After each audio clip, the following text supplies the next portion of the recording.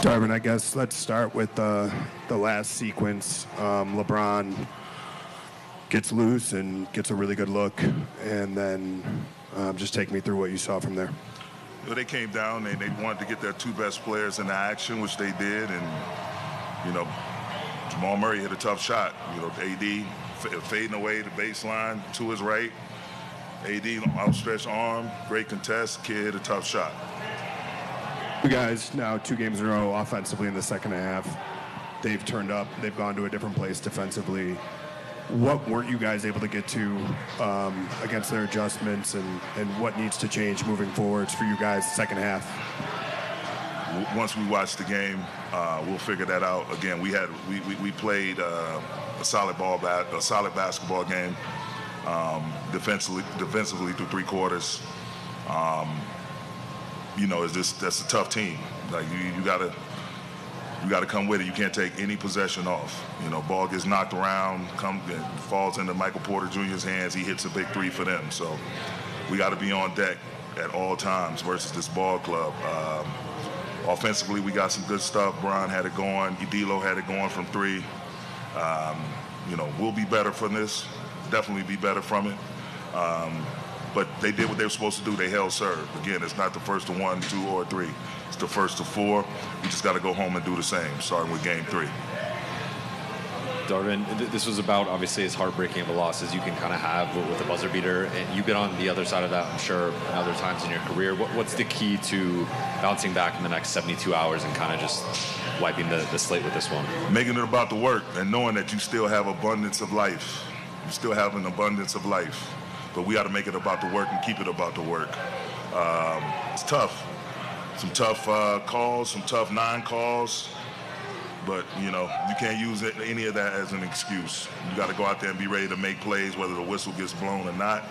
Um, it's getting real tricky. Go through the season, games being officiated one way, and then you get in the playoffs, and then it's like, I guess it's up left to the interpretation of the three individual uh, guys that's doing the job out there. But all that said, you just have to know that, um, yeah, it stings. Remember this feeling as we take it back home to LA, and we got to give them that same feeling in Game Three. We can't, we can't. That needs to be the sole focus. Recovery process has to start now as filling our cups back up. But uh, Game Three, it's all about Game Three right now.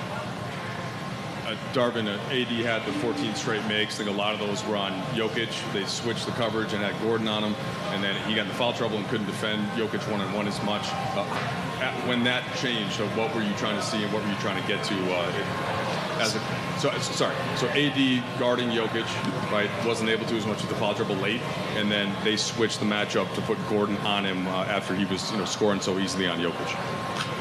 Yeah, they're just trying to. But I, I feel like Aaron Gordon is their best defender, along with KCP, but especially uh, along the front line. So you know, they did what we did. We, we wanted to put AD on him to start the game, and, and as much as possible. You know, he wasn't allowed to. anyway, uh, so I, I, I can see that, that that was their course of action um, in terms of putting uh, Gordon on him.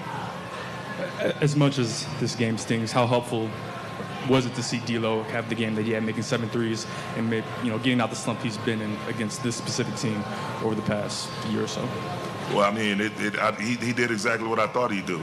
You know, he had a tough shoot night game one. He went back to the drawing board, put his work in, came out firing away tonight. Um, it's a tough one to, to, to come up on the short end of the stick with because of that performance that he had beyond three-point line. But it's playoff basketball, man. You know, you separate yourself by doing it over and over and over again. But then um, AD, you having to sub him out because he had the, the foul trouble. Where do you think the offense has shifted for you guys? You know, when you had the 68-48 lead, there was a lot of flow, and then from there, even in the fourth, a lot of the stuff you got was, was kind of individual play from LeBron, individual play from AR, that pull up on the on the baseline. Like, what, what was Denver doing to get into your offense at that point?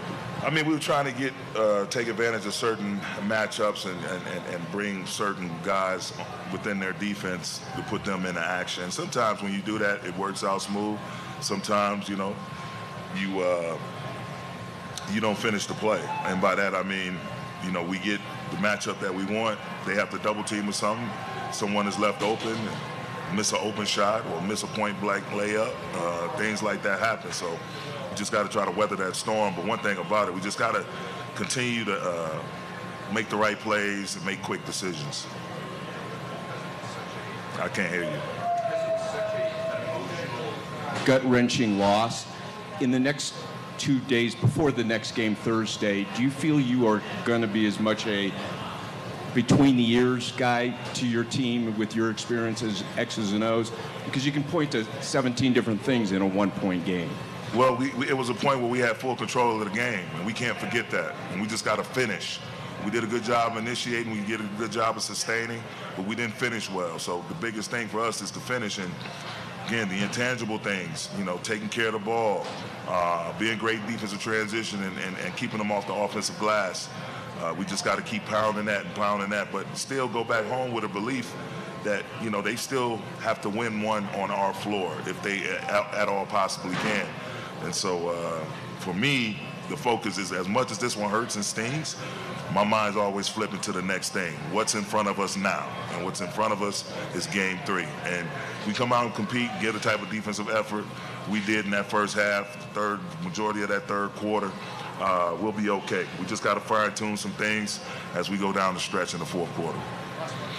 Darvin, uh, taking the 20 point lead early in the third, you feel like a lot of the adjustments that you made worked, and those are things that you can now apply into game three and, and moving forward?